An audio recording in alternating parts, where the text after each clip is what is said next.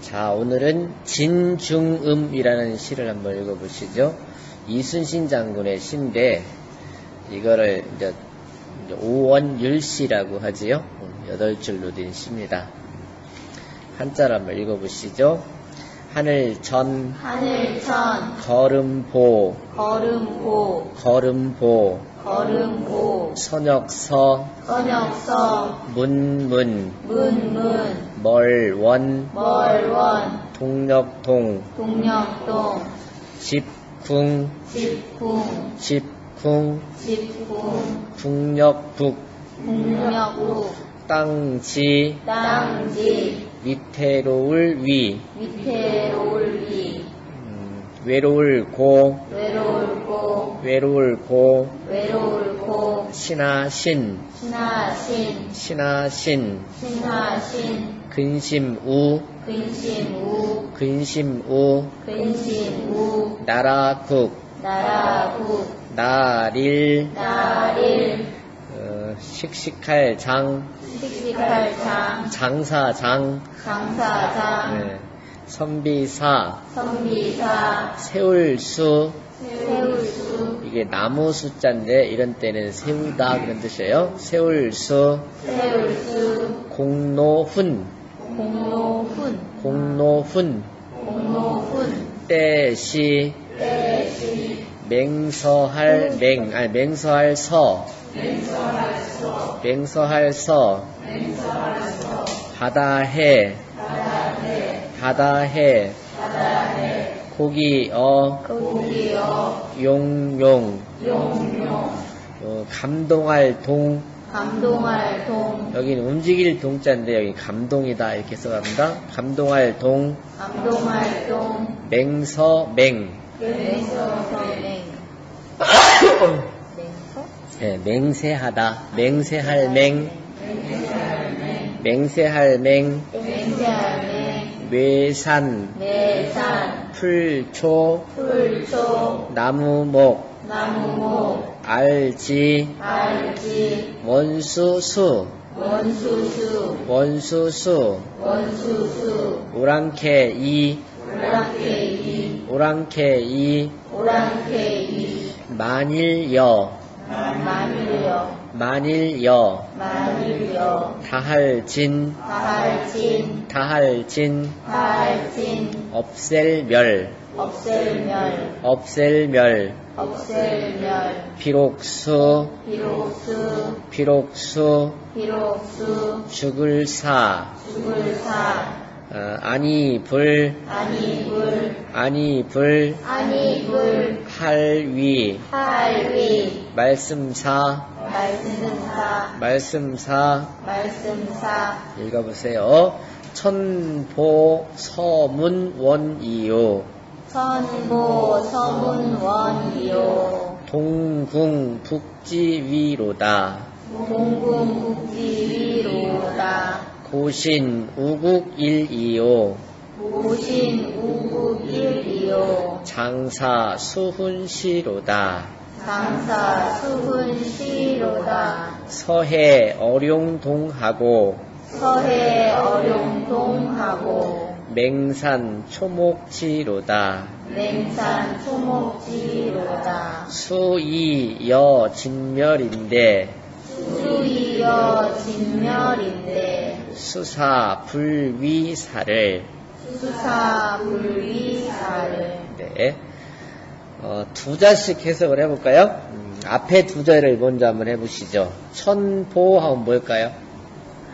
하늘의 걸음 이렇게 되나요? 그게 아니고 이럴 때 천자는 천자, 임금님 음, 그런 뜻이에요. 예. 천보라는 말은 임금님의 행보, 아, 임금님의 행보입니다. 동궁하면 궁은 집궁이니까 집은 집인데 동쪽에 있는 집. 주로 동쪽에 있는 집은 그 세자, 왕세자들이 살았다고 합니다. 그래서 동궁전 이렇게 들어보셨죠?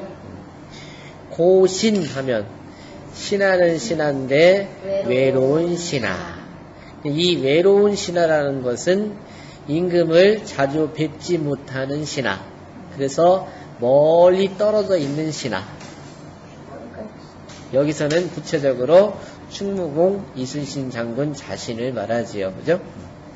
장사, 씩씩한 선비, 이렇게 말할 수 있지만, 이 장사라고, 기운이 장사라고 하지요. 즉, 한참 기운도 세고, 지략도 있고, 뛰어난 사람들 장사라고 하죠. 서해 하면 어떻게 될까요? 맹세할 서자에다 바다 해자니까 이런 때는 서어해, 서우해, 어조사 어자를 이렇게 넣어서 해석을 하시면 바다에 맹서를 하다. 맹산도 똑같아요. 맹어산, 즉 산에 맹세를 하다. 수이 원수인 오랑캐 이렇게 되지요. 수사는 비록 죽더라도 이렇게 되는 겁니다. 이제 밑에 세자를 해석을 해볼까요? 서문원 어떻게 해석하죠? 원 원이 뭐예요? 멀다. 그냥 멀다만이 아니라 멀어지다 이렇게 해석할 수 있어요. 서문원 하면 서문으로부터 멀어지고 이렇게 해석합니다. 북지 위 위태로운데 어디가 지금 위태롭습니까? 북쪽 지방, 북쪽 지역에서 위태롭다. 우국일 날은 날인데 무슨 날이에요? 나라를 걱정하는 날. 나라를 근심하는 날. 그 다음 줄은 때는 때인데 무슨 때? 수훈 시, 즉 공을 세울 때. 이게 이제 어, 그 밑에 줄 보시면 동자는 이게 움직인다 그런 뜻이지만 여기서는 감동한다. 그럼 뭐예요? 용동하면 용이 감동한다. 어동하면 고기가 감동을 한다. 즉 고기와 용들도 감동을 한다. 지는 알다, 알아주다. 그렇죠? 목지하면 나무도 알아준다. 초지하면 풀도 알아준다. 합해서 초목지, 풀과 나무들이 알아주는구나. 여진멸인데 어떻게 할까요? 여자는 뭐뭐 할 것 같으면 어? 뭐뭐 같다면 뭐뭐 할 수 있다면 여멸하면 없앨 수 있다면 근데 어떻게 없앱니까? 싹 없애는 거지 여기서 진멸 그러니까 다 없애버릴 수가 있다면 불위사 여기서 사자는 사양할 사자로 해석을 해야 되겠지요. 자, 이제 한번 다섯 글자를 한번 묶어보지요. 어떻게 할까요? 천보 서문원이요. 어떻게 해석할까요? 천자의 행보는 서쪽 문으로부터 멀어지고 이게 지금 1592년쯤 상황인가요? 그지요? 선조대왕이 피신을 가는 그 모습을 생각하시면 돼요. 동궁 북지위로다. 동궁은 풍력 지방에서 위태롭게 있구나. 천자는 이게 원래 전쟁이 저 그 전에 그런 말씀을 하시더라고요. 피난을 갈 때는 같은 식구가 한 군데로 쭉 가버리면 씨가 마를 수 있다 이거예요. 그래서 그 어르신들이 꼭 그 전에 그런 말씀 하시더라고. 자동차를 어디 타고 뭘 갈 때도 꼭 나눠 타라는 거죠. 근데 하물며 한 나라에 있어서 이런 위급 상황을 대처할 때 이렇게 나눠가는 거지. 한쪽은 서쪽으로, 한쪽은 북쪽으로 이렇게. 이해가 되시죠? 음. 그 이제 그 다음 수를 보는 거예요. 고신 우국이리요 장사 수훈시로다. 이 대꾸가 참 잘 맞았지요.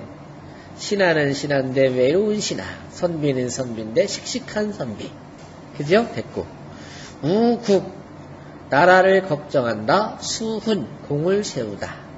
날, 때, 그죠? 이게 대꾸가 참 잘 맞은 거예요. 해석을 어떻게 할까요? 외로운 신하는 나라를 걱정하는 날이고, 여기 날일이라고 썼지만 실, 실은 나라를 걱정해야 할 때이고 그런 뜻이지요. 장사 수훈시로다. 장사들은 장사들은 뭐 어떻게 보면 여기서는 장사할 때 장군과 사졸 이렇게 볼 수도 있지요. 전쟁에 임하고 있는 장군과 사졸들은 이렇게 해석할 수도 있을 것 같아요. 수훈시로다. 지금 공을 세울 절호의 찬스다 이거죠. 그렇죠? 지금도 여기서 군인들이 군인 아저씨들이 많이 있는데 지금 훈련을 하고 있지만 실제 그냥 제대하면은 그냥 가는 거 아니에요. 그죠? 훈련만 하다 가잖아요. 그러나 여기는 지금 막상 전쟁이 벌어든 때니까 장사들이요 지금 궁을 세울 때로다. 자 거기 이제 다시 해석해 볼 수 있겠지요. 고신 우국 일이요 장사 수훈시로다. 외로운 신하는 나라를 걱정하는 날이고 이 나라의 운명을 걱정하는 날이에요. 그죠? 장사 수훈시로다. 장군과 군사들은 즉 장사들은 공을 세울 절호의 천수로다. 서해 어룡동하고 맹산 초목지로다. 바다에 맹세를 하니 바다에 뭐라고 맹세할까요? 저 내가 적들을 다 무찌르겠다 이렇게 맹세를 하겠죠. 바다에 맹세를 하니 어룡이 동하고 어와 용들도 동하고 즉 물고기들과 물속의 제왕이라고 하는 용마저도 감동을 하고 맹산 초목지로다. 저 산을 향해서 쩌렁쩌렁 이순신 장군이 하시는 거니까 따지고 보면 산에 맹세를 하니 저 하찮은 풀과 나무들도 다 내 심정을 알아주는구나. 수이여 진멸이면 여기 원수 숫자 이자는 오랑캐 이자인데 사실은 남만 북적 그죠? 동이 서융 이렇게 되니까 이자는 동쪽 오랑캐니까 일본이 우리보다 동쪽에 있나요? 그러니까 원수인 서 오랑캐를 여진멸 다 없앨 수가 있다면 그 속에 뭐가 들어있어요? 이 한 몸 바쳐서라도 그런 말이 들어있지요. 이 한 몸 바쳐서라도 저 원수를 다 없앨 수 있다면 수사라도 불위사라. 즉 비록 여기서 죽는다 하더라도 사양하지 않으리라. 아주 결연한 표현을 나타내고 있지요. 자, 이제 평소에 우리가 그 대구법이니 이런 거를 꼭 우리가 이제 그 뭐야 추구집에서 배웠고 백년초에서 배웠는데 대구를 넣는 위치가 정확하게 이제 율시에 오면은 정확하게 자리를 잡아요. 맨 앞에 두 줄을 머리 두자 두련이라고 해요. 두련. 두. 그 다음에 두 번째 이 두 구절을 두련 합년. 합년. 세 번째를 경년. 네 번째를 이제 미련. 꼬리 밑자 이렇게 말하는데 이 그 대구법을 반드시 써야 되는 것은 이 두 구절을 하나로 묶어서 하나, 둘, 셋, 넷 할 때 여기 두 번째, 세 번째는 반드시 대구를 쓰게 돼 있어요. 율씨는. 여기 보세요. 대구가 기가 막히게 됐지요. 음, 고신 장사. 그죠? 사람으로서 대꾸를 했고, 우국일 수훈시, 때로서 대꾸를 이렇게 했고, 그 밑에도 서해, 바다에 맹서하다. 원래 맹세, 맹서라고 써야 되는데, 그 두 글자를 이렇게 아주 멋지게 했잖아요. 바다에 맹서를 하고, 맹산, 산에 맹세를 하다. 그 다음에 고기와 용, 어룡 동, 초목지. 아주 기가 막히게 정말 이렇게 댓글을 쓰셨어요. 그럴 때 이제 운자라는 게 있잖아요. 운자를 찾아보면은 운자는 초성, 중성, 종성이라고 하지 우리 음가를 낼 때요. 그럴 때 초성을 제외한 중성과 종성이 같은 것을 운자로 쓰는데 대개 율시나 절구나 똑같이 짝수구 끝에 글자에 운자를 둡니다. 보세요. 위, 그죠? 그 다음에 시, 지, 사. 우리 음은 다 똑같진 않지만 중국 발음을 읽으면 거의 비슷할지도 모르겠어요. 그래서 그렇게 운자가 됩니다. 危, 時, 知, 辭 중국 발음 이렇게 읽거든요. 거의 비슷하지요. 네. 자, 이제 한번 이제 풀어볼까요? 어, 첫 번째하고 두 번째 구절에서는 지금 처해져 있는 절박한 상황을 이렇게 설명하고 있지요. 천자는 즉 임금님께서는 서쪽으로 피신을 가시고 서문을 지금 서대문인가요? 어떻게 보면 서문을 나서서 피신을 가시고 태자인 동궁은 북쪽 지방으로 더 멀리 이렇게 가서 나라는 위태로운 상황이다. 이럴 때 그 장수의 입장에서 볼 때 이럴 때 신하들한테 더 힘을 북돋아 주는 말을 하지 않으면 안 되는 상황이지요. 그러다 보니까 얘들아 낙심하지 말고 지금이야말로 절호의 찬스다, 기회다. 그러니 외로운 신하는 나라를 걱정해서 이렇게 하면 될까 저렇게 하면 될까 그렇게 준비를 하고 대비를 해야 되는 때고 또 일선에 서 있는 장사들은 장수와 사줄들은 공을 세울 아주 좋은 때로다. 그러니 여기서 물러서지 않고 기필코 내가 다 저걸 무찔러겠다는 그런 다짐, 그 다짐을 바다에 맹세를 하니 물고기와 용들도 감동을 하고 저 산천 초목에 맹세를 하니 풀과 나무들도 내 이 깊은 마음을 다 알아주는구나.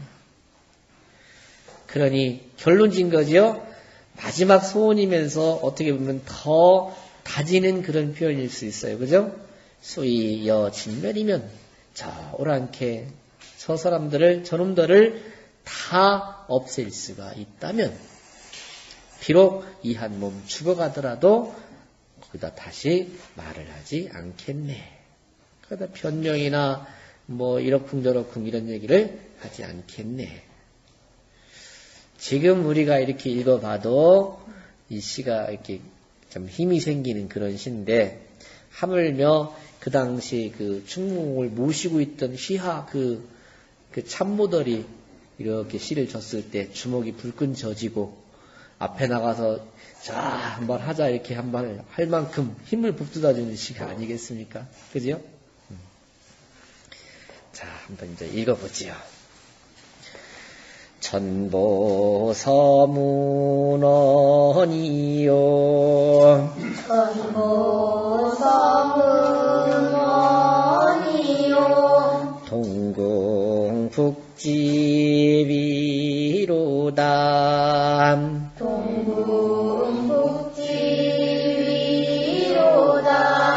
고시노국이리요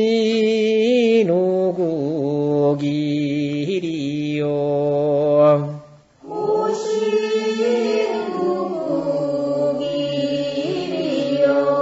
장사순시로다 장사순시로다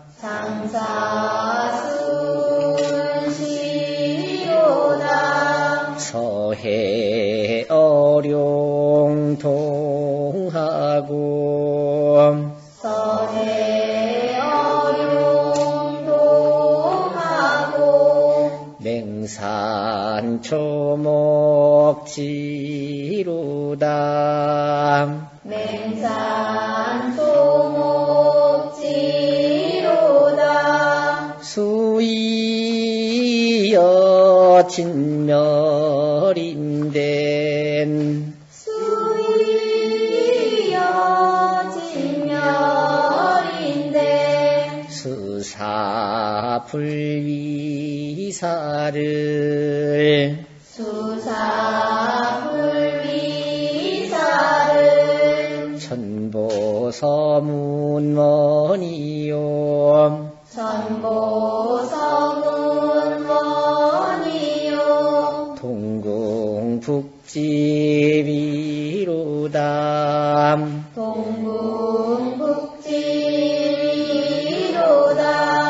고시누국이리요.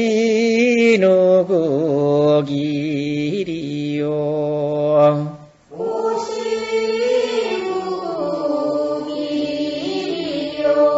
장사순시로담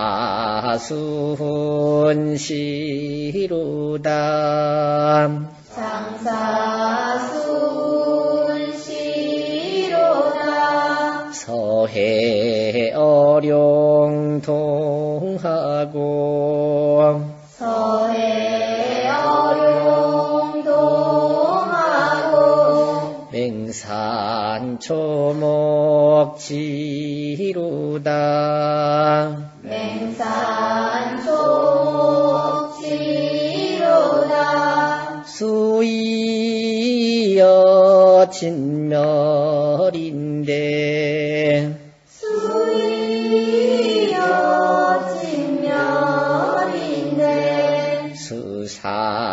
불위사를 수사